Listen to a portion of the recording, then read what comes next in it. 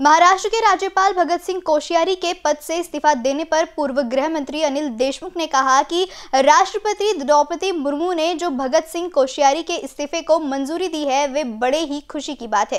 क्योंकि हमने देखा ही है कि भगत सिंह कोश्यारी ने राज्यपाल के पद पर रहते हुए कई महापुरुषों का इससे पहले भी अपमान किया है। अतिशय आनंदाची गोष्ट की शेवटी जे राज्यपाल होते शेवटी राष्ट्रपतींनी राजीनामा मंजूर केला.